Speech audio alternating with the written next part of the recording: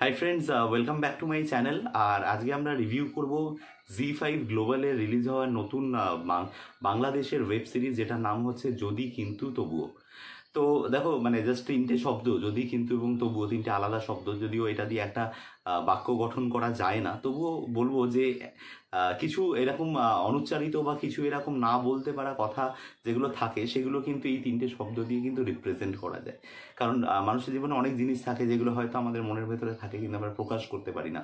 তখন আমরা কিন্তু এই অ্যাজামশনগুলো করি আর কি যে যদি এটা হতো, কিন্তু এটা হলো না তবুও যদি এটা করা যেত। তো এই যে মনের ভাবটা, এই মনের ভাবটা কিন্তু এই তিনটে শব্দ দিয়ে এই ওয়েব সিরিজে কিন্তু প্রকাশ করা হয়েছে। তো সেই জায়গা থেকে আমার নেমিংটা কিন্তু খুব ভালো লেগেছে।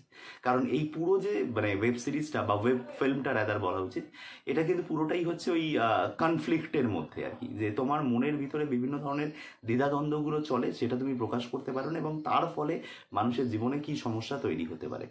তো আরেকটা কথা যেটা দেখবে যে, এটার পোস্টারে লেখা রয়েছে যে, বাংলাদেশি বিগেস্ট বাংলাদেশি ওয়েডিং তো সেইটাই হচ্ছে ছবির মূল গল্প, যে একটা ছোট্ট মিষ্টি প্রেমের গল্প এবং সেখান থেকে একটা বিয়ের সিচুয়েশন এবং সেই বিয়ের সিচুয়েশনটা কীভাবে কমপ্লিকেটেড হতে পারে? মানুষের জীবনের ওই ছোট ছোট দ্বন্দ্বগুলোর মাধ্যমে সেটাই মূলত এখানে দেখানো হয়েছে।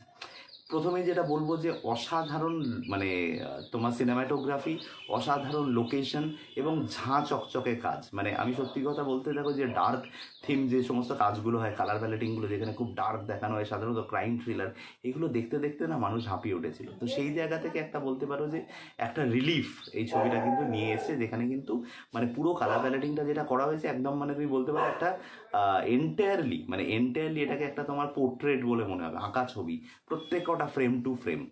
ভীষণ কালারফুল ভীষণ ভাইব্রেন্ট এবং খুবই সুন্দর একটা বলতে পারো যে প্রেজেন্টেশন তবে শুধু প্রেজেন্টেশন দিয়ে তো একটা ফিল্ম ভালো হতে পারে না।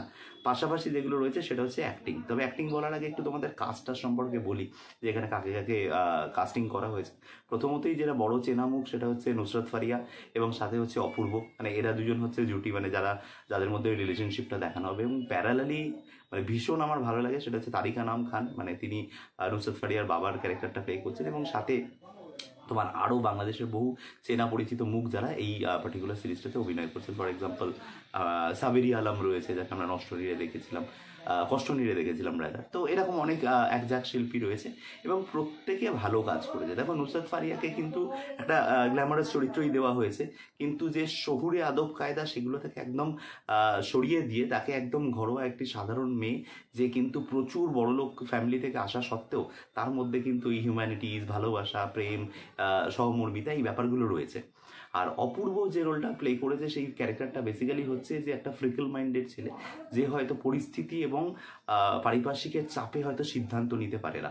He always need a kick মানে ও বারবার বলছে যে, আমি কিছুতে ধাক্কা না খাওয়া অবধি আমার জীবনে কিছু হয় না। তো he always need a kick তো এরকম একটা কন্ট্রাস্টিং একটা কম্বিনেশন যেখানে একটি মেয়ে বলতে পারো যে সে ভীষণভাবে ডাউন টু দি আর্থ আরেকটি ছেলে সে সবসময় রিলেশনশিপ থেকে পালিয়ে যায়।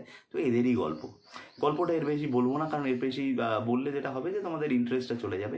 চেনা গল্প, চেনা ছবি, চেনা গল্প বলার তরিকা সব চেনা। কিন্তু the treatment given by the Sai of Sahin the director of this particular film that is excellent মানে কোনো সময় তোমার দেখতে দেখতে এবং সব থেকে বড় কথা সেটা হচ্ছে যে, দেখো সিরিয়াস সিনগুলো রয়েছে যেখানে কিন্তু ধরো রিলেশনশিপ ক্রাইসিস এগুলো দেখানো হয়েছে, পাশে কিন্তু ছোট ছোট কমিক পাঞ্চগুলোকে রাখা হয়েছে এবং দ্যাট ইজ এক্সেলেন্ট এবং কোনোটাই কিন্তু সেই ওই কাতুকুতু দিয়ে হাসানোর মতো নয়। মানে ভাড়ামি কোথাও করা হয়নি। ইন্টেলেকচুয়াল ডায়লগস এবং এগুলোর মাধ্যমে কিছু কমিক সিকোয়েন্স তৈরি করা হয়েছে জাস্ট একটা ছোট্ট এক্সাম্পল দিচ্ছি। যখনই নুসরত ফারিয়া কোনো কিছু মিথ্যে কথা বলেন, তখনই সাথে সাথে সে হাসতে শুরু করে। তো এরকম একটা মানে জাস্ট একটা ছোট্ট ইয়ে। কিন্তু আবার এটাই যখন ধরো তারিকা নাম খান করেন মানে তারও কিন্তু একই ইয়ে। মানে এই যে ছোট ছোট ব্যাপারগুলোকে যে ইনকর্পোরেট করা হয়েছে just to create that funny element that is very intellectual and very good মানে গল্পটা ডিরেক্টর নিজেরই লেখা।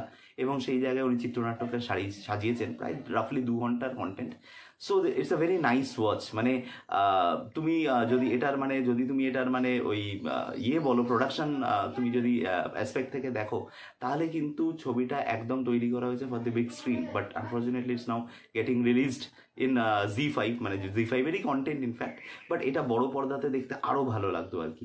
কিন্তু সামওয়ে দি আদার এটা তোমাদের জি ফাইভের প্ল্যাটফর্মে রিলিজ করা হয়েছে। এবং প্রত্যেকটা ছোট ছোট জিনিসগুলোকে এত সুন্দর করে দেখানো হয়েছে না? মানে যেটা তোমাকে বললাম কালার প্যালেটিং ভালো লাগবে। তোমার বিজিএম স্পেশালি দুটো গান রয়েছে, দুটো একটি গান তো সম্ভবত বোধহয় নুসরত ফারিয়াও গিয়েছে।